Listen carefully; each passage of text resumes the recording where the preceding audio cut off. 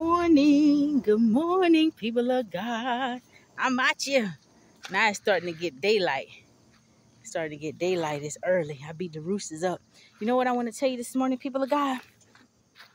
Always be good to people. Do unto others as you would have them do unto you. Right? And the Bible tells us that. You know, we need to do good to people even when things people may not be doing good to us. Let's keep our good morals and integrity and character. Be good to people. It may get you may get frustrated sometimes. I'm not telling you not to be human and express normal human emotions um, in certain situations, but always do good by people. And you never know who you may need. And what brought me to that this morning, I have a, a good friend of mine. She and her husband, um, she ran a company for quite some time, for a few years that I used to do business with frequently. And she was always very pleasant with me, always embraced Daniel and Monte, always loved them. She and her husband were always kind to me. And uh, they just would do different things to go the extra mile in certain situations for me when they really didn't have to. Just good hearted, kind people. And so, lo and behold, this morning, uh, well, last night she told me she and her husband, they needed some help, some assistance. They um, have to do something and get out of town by well they're gonna leave out of town. And um, that they, they needed assistance. They needed someone to assist them with something. And i had what they needed but it would require me to be up about 3 a.m this morning so that i could meet them and assist them. Now it was an inconvenience for me to get up at that time especially if been traveling traveling these last few days been out of town i thought i was going to rest all day.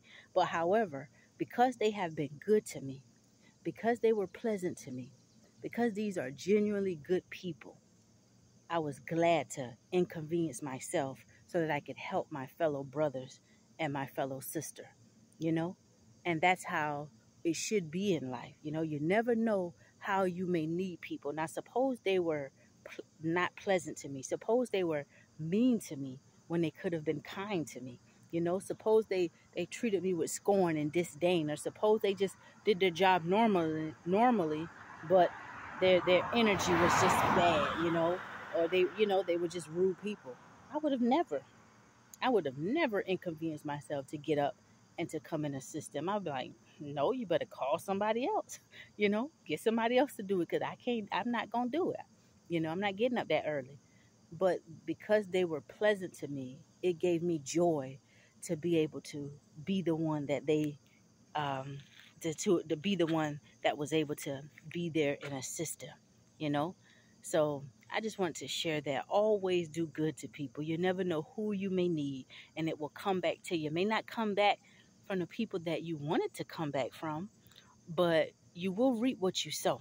We all will reap what we sow. Every seed we put in the ground the way we behave the way we treat folk you know um, you know, you're going to reap what you sow. Every deed, every deed that we do all throughout this 24 hours of every day, you know, we're going to reap what we sow. So that's all I want to share. I hope you guys slept well. I hope you're off to a, a great start on this uh, beautiful Thursday morning. It's getting bright now, you know. So it's another day, baby. We got life, health, and strength. We got another chance to strive towards something, to making our mark in the earth another day that He's blessed us. Another day that the Lord has kept me. Oh, glory. What has He kept us from? Lord, you have kept me from all evil, and my mind stayed on Jesus. I like how my voice echoes out here in the woods. Ain't nothing like country living, baby. I love country living. Can't take all that traffic in the city. It's beautiful, especially at night when you ain't got to ride in too much heavy traffic. But I don't like being cluttered up in the city. Y'all have a blessed day. Another day that the Lord has blessed us. Enjoy. Go and run your race.